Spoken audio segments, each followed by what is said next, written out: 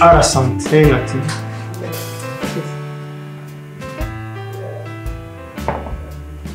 How's your day? I don't know if my day was good. Uh, but I'm saying How come I miss you? Siku tayari kwa nusu zangu Sunday. Ndio ndio chana. Hapo ndani mwangu ndani. Ndananiwe. so nagufasha gute ntabwo mukunda kubona umeze gutya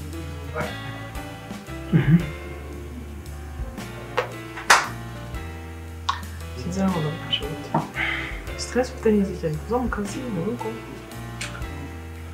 Ah, bon, ni ibintu bisanzwe. Ni ibintu bisanzwe. Ariko ariko ndananiwe. so mufashe gute waje kurara mu bose uyu munsi byagufasha akaruhuka stress zindi wagira hariya. Ukora ka massage ushobora kumva ndakeka waruhuka kurusha uko niko mbitekereza. Ka massage gakenewe di. pe Are you ready for that?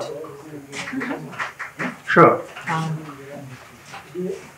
Mm, byagufasha waruhukaho gato nk'ukuntu umeze mwana yanjye ushobora urasa nka stress nta nubwo ufite stress urasa nkazo okay. byagufasha kaza ukaruhukaho gato ukabutse umbyare nyine wiyibagiza ibintu byose turebe hano filime Perfect. Oh, calm. So, um, ndabanza nshyira imodoka mu rugo? ntabwo noneho byaba ari na byo sawa nta muntu kwiteza abantu muri karitsiye yes. Kandi im- imodoka yanjye irazwi cyane noneho nshyire mu twana twa siporo nsohoke nkujya muri siporo ariko ntabwo ndi burare nda turamara turamarana amasaha menshi ashoboka turareba n'ubu bishobora kutarara urumva uprefera iki ubu ukeneye umwanya ukeneye kuruhuka izo stress zo mu rugo zo mu kazi ukabyibagirwa ntaho se ubundi ubushize ko hari icyo wabaye nata ntacyo byangije ubu ndamutse ndaye iwawe naruhuka ariko waruhuka ni ukuri waruhuka wankundira ndabibura rega ko utameze neza okay. ndabikora ubwo wowe genda nuza turareba ubwo igikenewe kiri bukorwe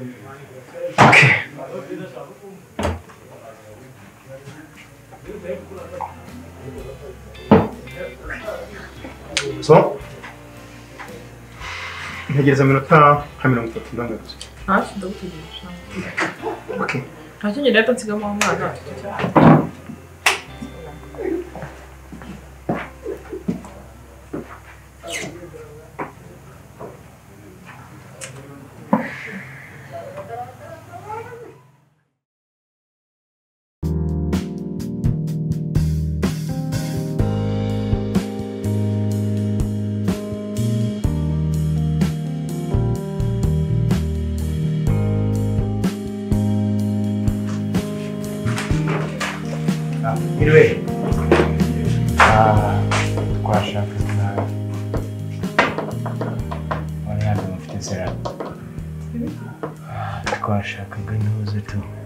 iki agakingirizo kuragabariza natwari hari ariyo se bararufite ra baba bazi ko bimenya ko se kuba ufite ni gito ufite ndakeka muri karitsiye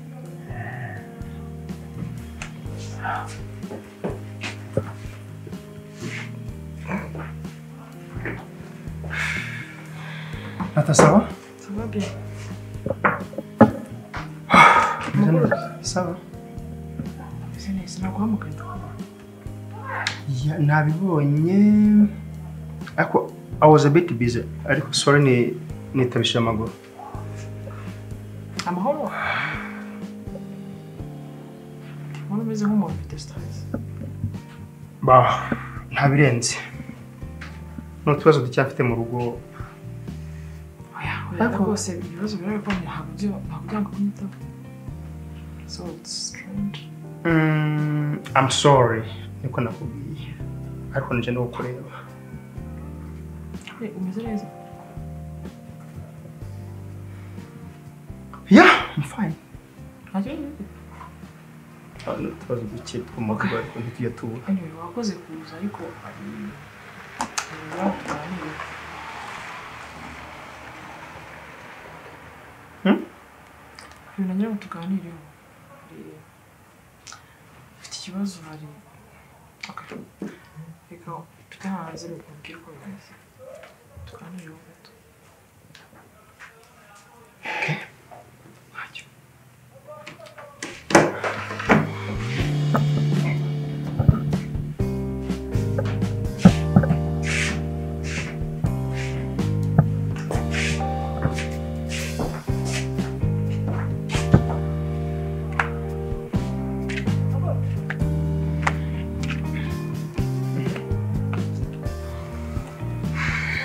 impamvu nari mubwiye ngo tuvuganeho mfite ikibazo nawe tuganire ikibazo kinata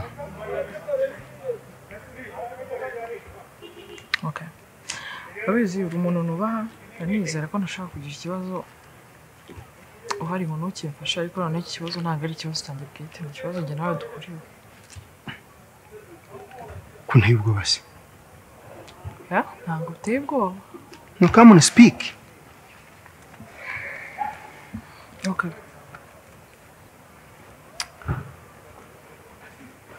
urabizi uri umukiriya wanjye w'imena ariko uri mu ba urabizi mbona nabuze ahantu bihera no be open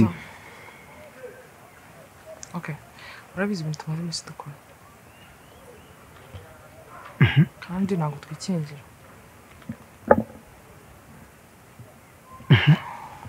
So, hashize nk'icyumweru cyose ukwezi kwanjye kw'imihango nyine kwararenze njye kwipima nsanga ndatwite.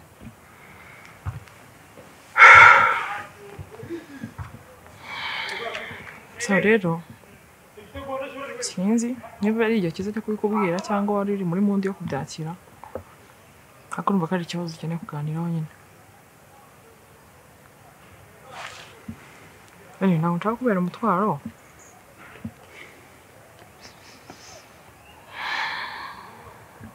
ariko nyine sinzi ntabwo ari ibintu nakwifasha pe nata ntaho nahera ntabwo ntaho nahera mbihakana kandi nzi neza ko utambeshya pe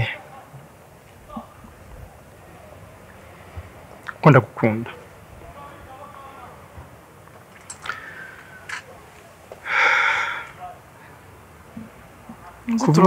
Kuvuga ngo si ibihe byiza byo kubimbwira wenda kuri njyewe? Okay sinzi ibihe byiza icyo washaka kuvuga. Ariko njye mfite ibibazo nubwo wenda nta ntari nakabikubwiye. Nabikubajije ariko mbwira ko ntabwo wenda ari ibibazo by'urwikekwe cyangwa ibindi. Ahubwo umugore yagucinya amata cyangwa ukeka ko yigeze kugucika pas ariko wenda icyo si cyo nari ngendereye ariko uh, njyewe muganga yansanzemo indwara ikomeye indwara idakira. Urwaye sida ah, ah wihangayika.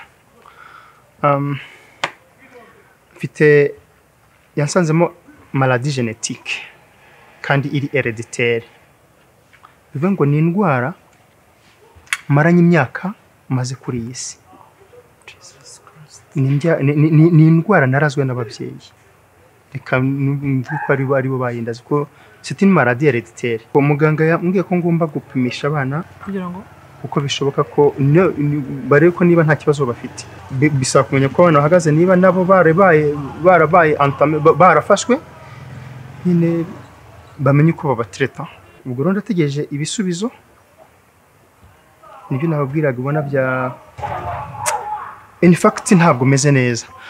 Okay rero reka ku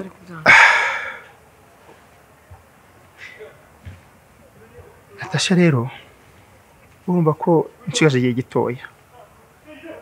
Igihe Igihe gito nshigaje igihe gitoya. Bakubwiye ko ujya no gupfa? Bambwiye ko nshigaje igihe gitoya. Bivuge ngo muri njyewe nta kintu nakumarira muri make. Nata ntacyo nakumarira. Uretse kugutera agahinda ntacyo nakumarira. Ese uragira nyine nk'undi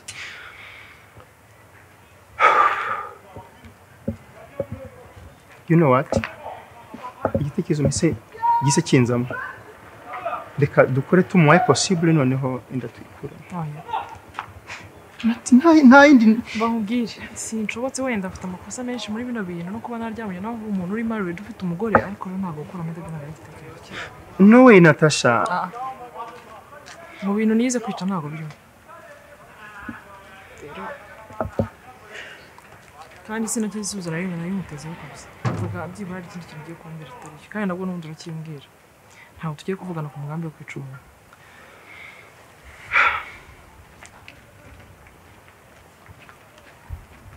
Kwitekereza cyane biroroshye kunsubiza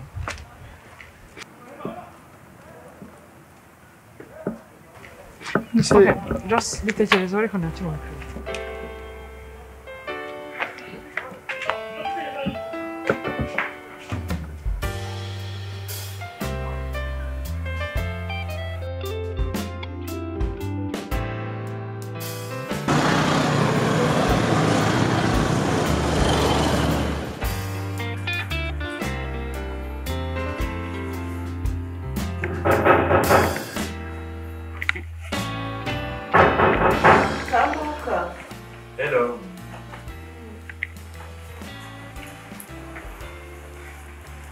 Niriwe.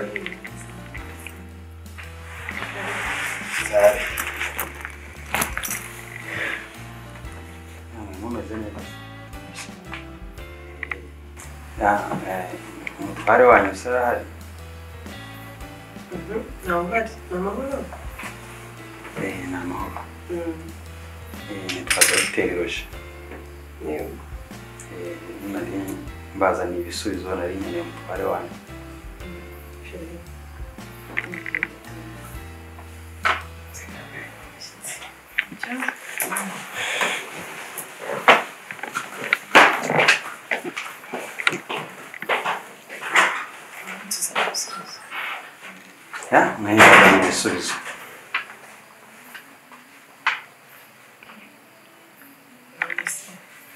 Waretse twavugana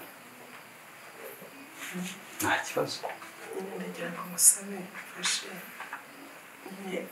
ndaguha telefone ndakanda akanyenyeri nshyirireho nimero yawe hanyuma ibyo bisubizo rwose ni muri ibyo ngibyo umuhe ibindi bitari ibyo kirashyiramo akanimero Ushatse kuvuga iki? nyine ndagira ngo unyandikireho akanimero kawe hanyuma nyine ngereka uko bigenza ariko umbabarire ntumve ibyo bisubizo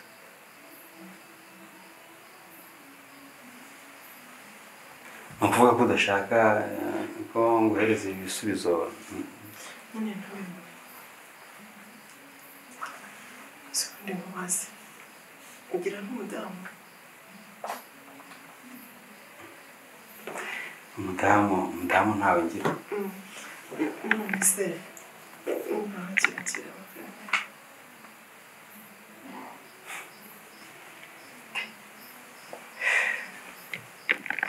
akanimero ukabyara ukuri ndagira ngo andika andika ndagira ngo umfashe ntuze kubemo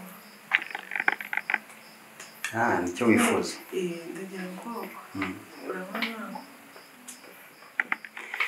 icyo washatse kuvuga icyo washatse kuvuga nacyumva nacyumvishe ntabwo ari ngombwa eh, ntabwo ari ngombwa ngo wivune bitewe n'ibisubizo mfite ariko ndagira nkubwire ko mu kazi kanjye nkora ah, iwacu ntabwo twemerewe kurya ikintu cyitwa ruswa tuba tugomba gukora ibintu biri ku murongo tukagaragaza si nimero se ndi kukwaka ni ukuri nimero ndi kukwaka kandi ndabizi ko ruswa itemewe pe ntabwo yemewe nta nubwo ariyo nshaka gutanga bivuze ko ibisubizo nzanye ubizi.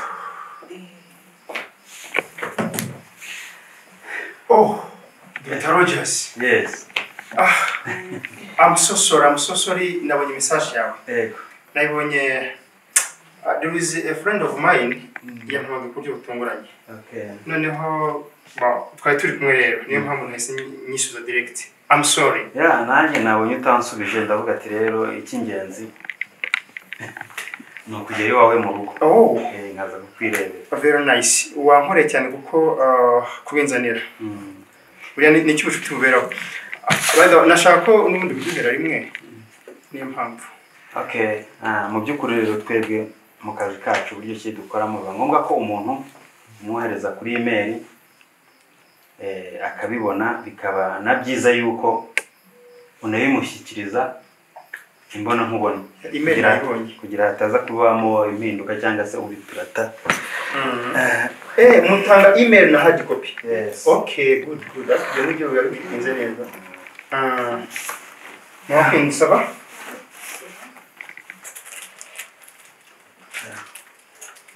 Oh.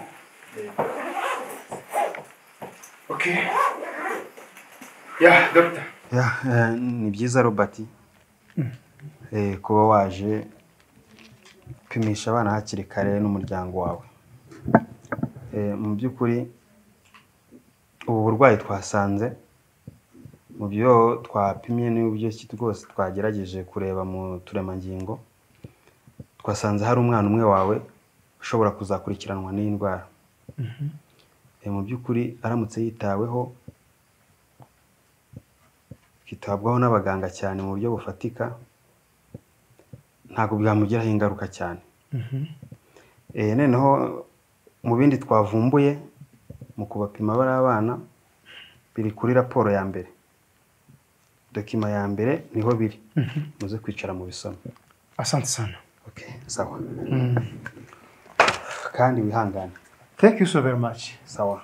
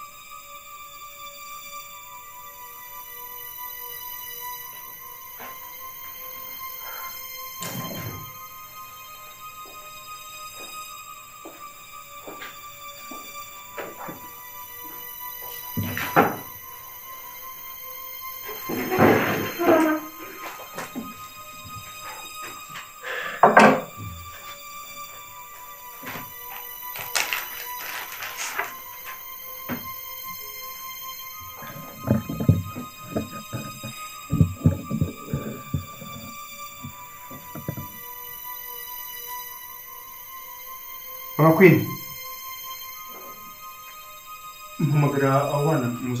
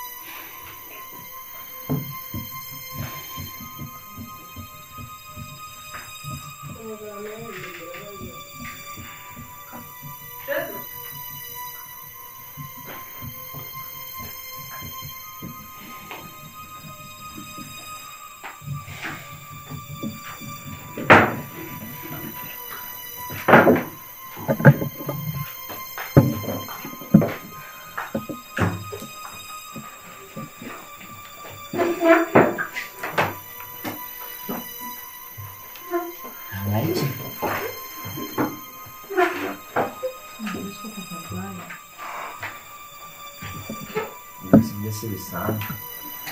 ibyo si bisanzwe birasanzwe ko kubaza cyangwa bakabona ese urumva ukuntu uri kubaza ngo birasanzwe kuba papa arwaye kwe ntunyigishe ukuntu mm, Okay. ko nshobora ko ngomba kuvuga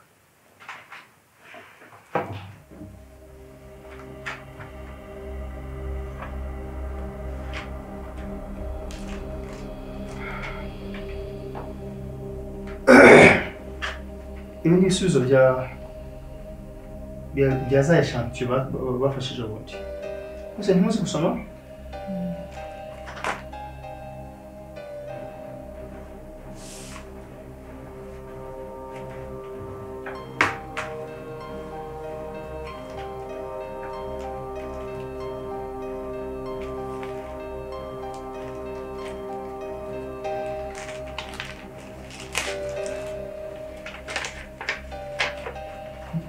Jerome gehört ihr Partyband.